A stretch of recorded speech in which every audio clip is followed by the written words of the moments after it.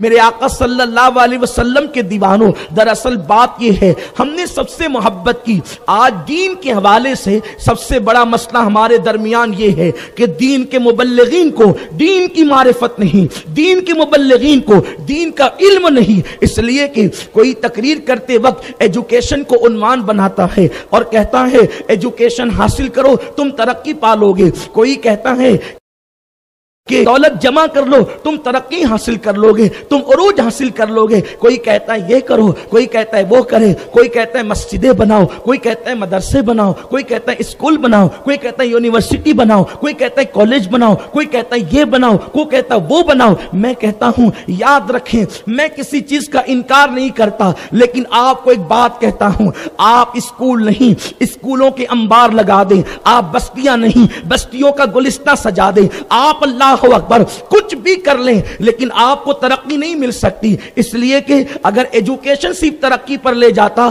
तो आप बताएँ क्या मक्के के लोग पढ़े लिखे न थे? मक्के के लोग अल्लाह अकबर, इतनी तादाद में पढ़े लिखे थे कुफार में कि हजूर सलाम ने मुसलमान सहाबा को बद्र के फिदिये के हवाले से यह बात तय फरमाई कि जो कुफार असीर बन करके बद्र में आए हैं, बद्र के कैदी बनकर आए हैं, मुसलमान हजूर के जो सहाबा हैं, वो उनसे इल्म हासिल करें। आपसे मैं पूछना चाहता हूँ, मक्के में कुछ लोग पढ़े लिखे थे कि नहीं थे? फिर आखिरकार सिर्फ़ एजुकेशन कैसे तरक्की का ज़रिया हो सकता सकता है। लेकिन कुरान उनको सराहता नहीं। वलीद इब्ने मगीरा, उतबा, अबू जहल जैसे लोग मालदार भी थे। उनके पास मालदार भी है। कुछ हद तक के एजुकेशन भी उनके पास मौजूद है। बगैर एजुकेशन के कोई बंदा एक एक महफिल में पचास पचास अशार फिलबदी पढ़ने लगेगा। आप उनकी जहालत की शायरी उठा करके देखें। लेकिन जहालत किस चीज़ का नाम है? जो एक महफिल में पचास अशार फिलबदी पढ़ रहा हो, कुरान उसको जाहिल कहता है, हदीस उसको जाहिल कहती कहती है, इस्लाम उसको जाहिल कहता है।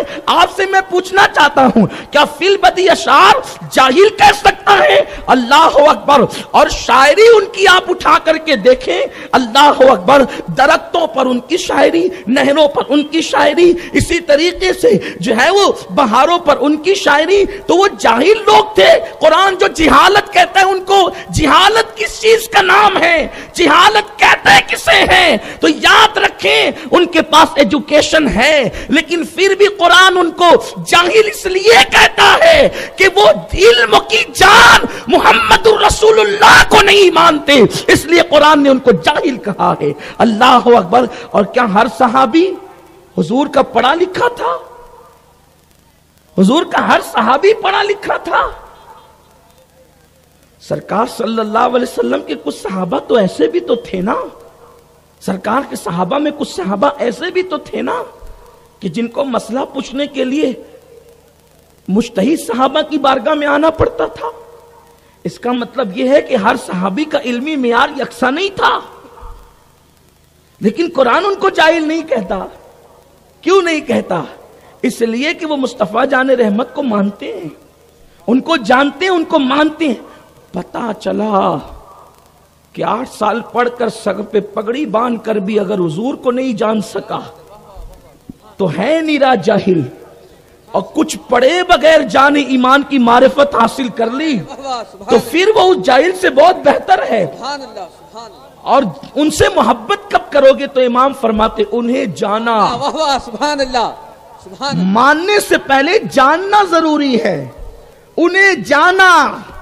जब जानोगे तो फिर उन्हें माना। और जब मान लोगे तो फिर न रखा गैर से काम और उसके नतीजे में लिल्लाहिल हमद मैं दुनिया से मुसलमान गया। मेरी बात आप समझने की पहले नबी को जानो ये नबी है कौन? इस नबी की मारिफत हासिल करो तभी मोहब्बत रसूल पैदा होगी तभी इश्क रसूल पैदा होगा। हुजूर क्या है? हुजूर की शान क्या है? हुजूर को कभी आपने जाना?